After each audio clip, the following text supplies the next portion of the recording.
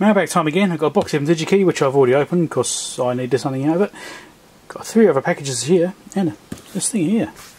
Let's find out what these are because I don't know. Well, apart from this one, I was in here. Don't forget to click like and subscribe if it's your first time here. If you like electronics videos or mailbags and stuff like that. If you like repairs and want to learn more about repairs or how I fix things, then you want to do that.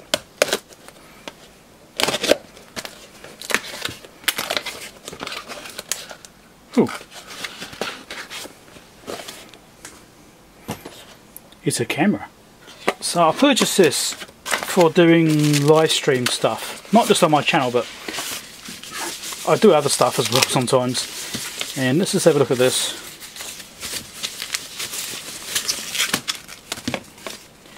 It's a USB camera, 2 megapixel apparently. Hmm. 2.8 to 12 millimeter. Oh, there's some screws. There's a sensor in there. And there's some bits of crap in there. Let's get those out. Okay. So these lock up. Which means you can undo them and then adjust it with these. So it's all manual adjustment, manual focus, manual zooming and stuff. It's, then we got um, aperture opening and closing.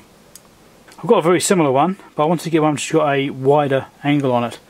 Is it any good? I don't know. The one I've got is not too bad, but the lens wasn't great. It's got some distortions and stuff like that, and it's not good for wide angle.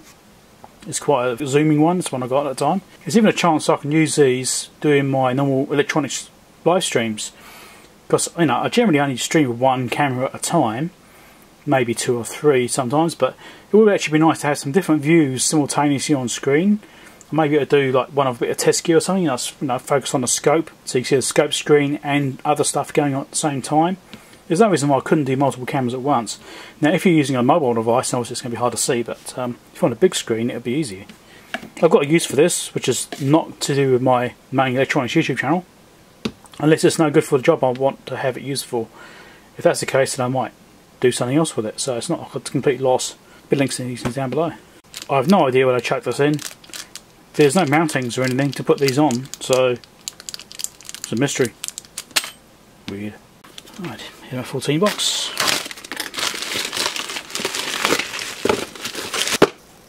What's in here? Yes, I had to put a label on it.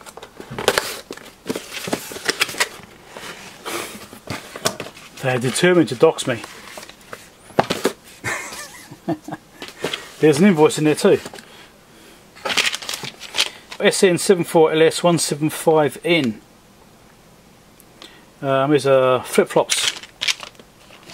This spare parts in case I need them. These are used in the DSA, which I mentioned in the last mailbag. So these are the HP 3561A. They're used in that. I've just stuck up bits and pieces. Whatever I may need to use in the future, I'm getting them now because you never quite know when these older chips like this are going to be made obsolete and you won't be able to get them anymore or they're really hard to get or expensive to source you know? So in this situation think right this piece of gear has got lots of these things in it. Let's stock up on them.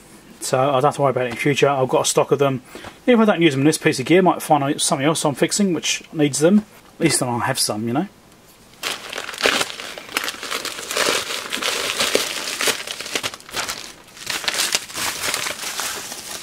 Uh, SN74LS279AN. I don't know what these are. I think they're latches of some kind. I think they're a set reset latch or something like that, remember? Again, these are used in the HP 3561A. And again, I'm stocking up because it will be handy one day. Now the issue with these is that these are actually now obsolete. There's only two. I've got two in this box here. That's all I could get. They're not stock anymore. So this is one of these things where you have to be really careful. These are no longer available.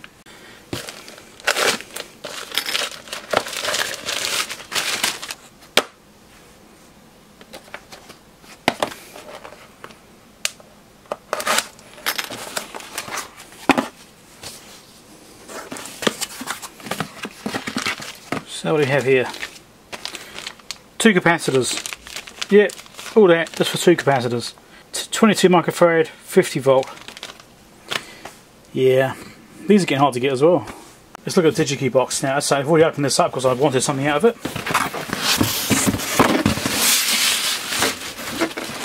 So, oh, I've messed it up now.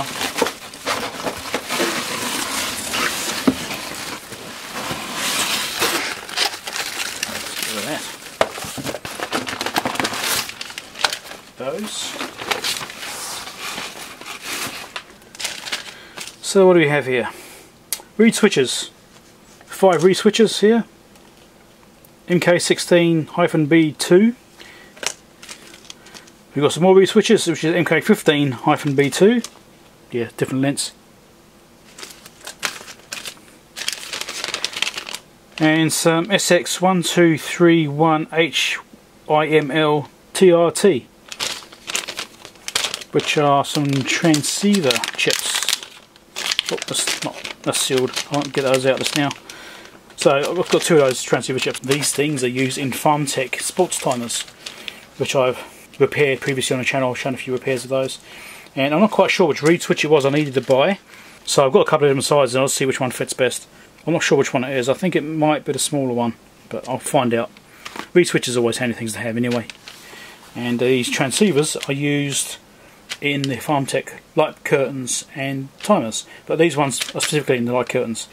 So um, these ISM band stuff up to 1 gigahertz. And I thought I'd get some of those in case I ever get a device which has a blown IC or weak one or something like that, because these put the full power out to the antenna. So if one of those is bad, I could swap it out, put a new one on, and that should fix it. This purely in case I need one, and the same for these. I don't have any specific uses yet, but I'm just getting a little bit of stock of a couple of bits and pieces because I will be doing more of those repairs. If you haven't seen my Farmtek repairs, then I've done some like reverse engineering on them and that sort of stuff as well. It's a video, so just look for my Farmtek playlist. F-A-R-M-T-E-K. Right? If you don't know where that is, it's on my main channel somewhere. You look on my main homepage, you'll be able to find my playlist there. Then here, which I've screwed up because I've moved it around, is a bunch of battery holders. These are the battery holders that are used inside the Farmteks. So I bought some because these battery holders are a common problem on the actual equipment when they're at the events because the batteries leak over time, you know, they get left with the batteries in, the batteries will leak, corrode up the terminals or corrode up the end pieces here. Also, as they're used outside, you can get water ingress in them, not cleaned or dried if they get put away, get water run into them, and that will also corrode the battery terminals and stuff like that. So these battery holders are a problematic piece of the gear. These often give trouble. So I thought I'd get a small stock of these so when I get another situation where there's an event running and they're having problems with the battery holders, I can just give them a new one and say, here you go. Here's a new battery holder and obviously charge them for it. But, you know, having a stock of them, it comes first. So don't forget to click like and subscribe if you found it interesting.